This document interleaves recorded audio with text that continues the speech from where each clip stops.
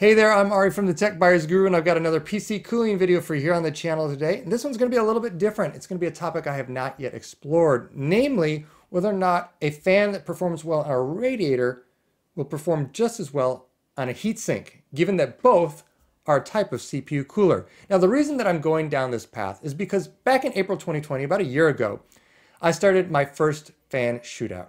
It was 120 millimeter fans on 120 millimeter radiator, really pretty basic. And I found that some fans were better than others. In fact, the best fan was this one right here, the NF-A12X25.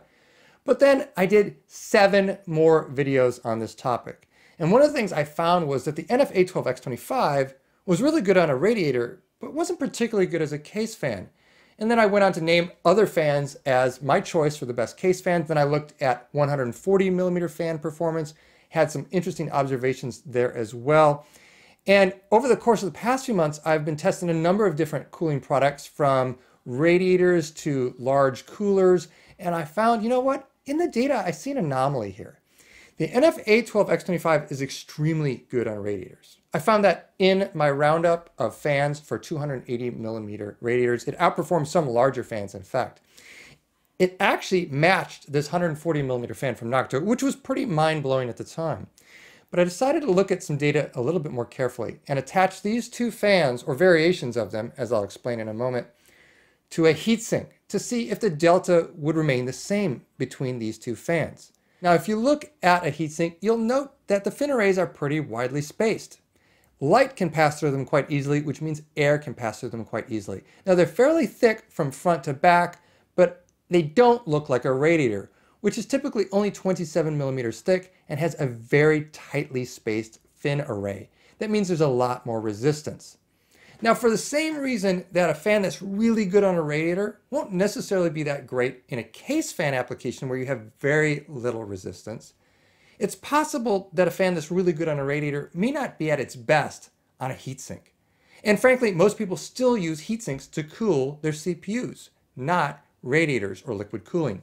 And that's what got me thinking that I should present this data. And to be clear, I collected this data for other purposes, for other shootouts that I've published previously. So this is not an expansive review of the topic. It's really just a first look at this.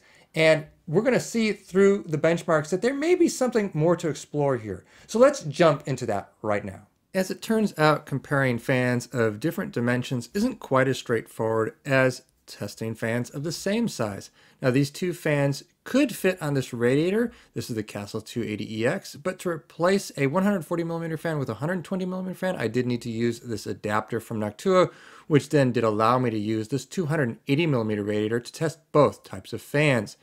Now, switching over to my air cooler, the NHD15, was equally complicated because, as you can see, these are round fans. These are not the same square fans I used on the radiator, but I did confirm with Noctua that these are exactly the same fan. They have the same performance characteristics, simply packaged in a different way to fit on different types of coolers.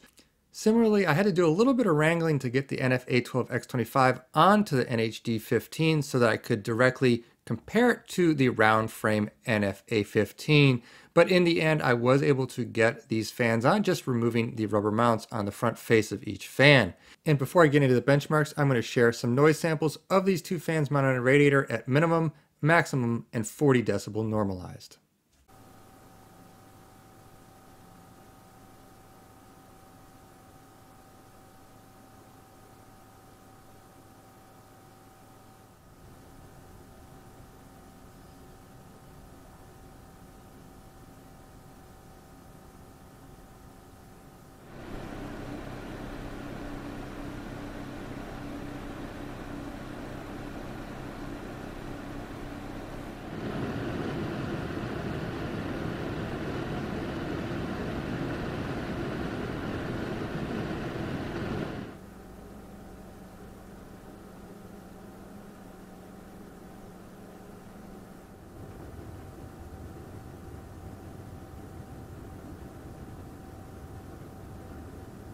Now jumping into the benchmark, starting with my liquid cooler, the Deepcool Castle 280EX. I am using a Ryzen 7 3700X, and I find that at idle, the NF-A12X25 is quite a bit behind the Noctua NF-A14 and it's also a little bit louder. So overall, the 140 millimeter fan definitely seems to be ahead at idle, but let's turn to my Cinebench test at maximum RPM. Now here we can see that these fans are actually a lot closer than they were at idle, and this is what's important, of course.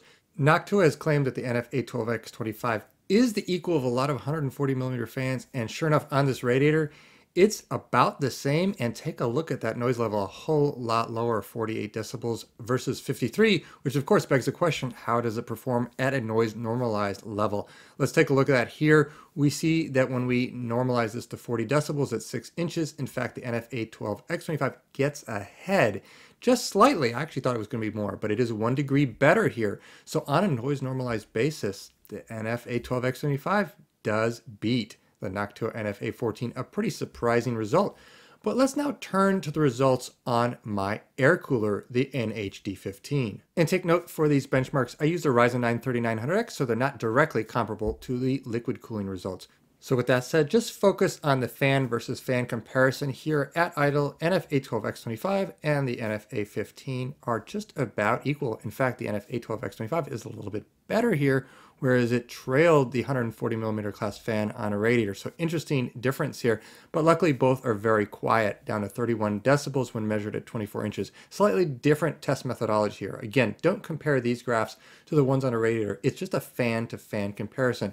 Now looking at the Cinebench results with the maximum RPM, here, I did expect the NF-A12X25 to put up a really good fight, but it actually was a little bit behind.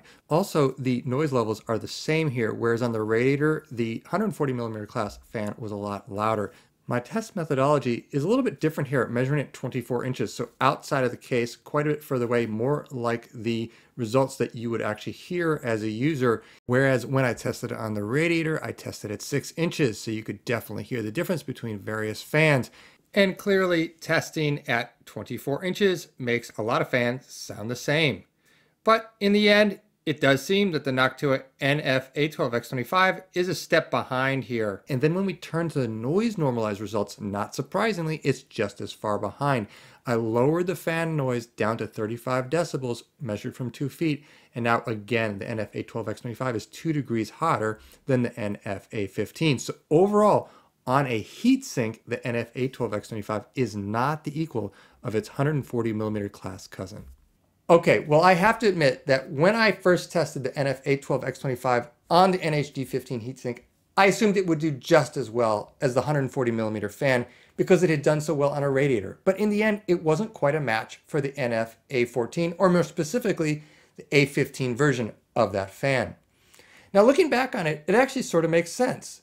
The fin array on a heatsink is very different from the fin array on a radiator. And the NF-A12X25 strengths are where static pressure is highest. The resistance is highest. The higher the resistance, the more this fan pulls ahead of its competitors. But as I've shown in a case cooling environment, it's really nothing special and nothing to write home about. So on a heatsink, which is designed to have a little bit lower resistance than a radiator, there may be better fans than this one, even though everyone out there continues to say this is the best PC fan for CPU coolers. And some people say it's the best PC fan, which is not true. But CPU coolers are a very wide array of products. And if I were to go further down this path, I would test this fan and a number of 120 millimeter fans from Noctua's competitors on a heatsink. Now I've already done this on a radiator. I do it on a heatsink to show the differences. And specifically, I'd probably use a single tower heatsink like the NH-U12S or Arctic Freezer 34 Duo as opposed to my favorite 120 millimeter class cooler, the Fuma 2 that has dual towers. That complicates things because now the fans are starting to interact. And because that's less common, that's not the design I would use to test 120 millimeter fans on a heatsink. Now, I don't have this scheduled yet, but if there's a lot of interest in this video, I may put it on my schedule. So definitely comment down below if you have questions or if you have thoughts about this video, if it surprised you or if it's interesting to you, because that does mean I might do a follow-up to this video in the future. As always, I do appreciate a like and subscribe, and I'm Ari from the Tech Buyers Guru.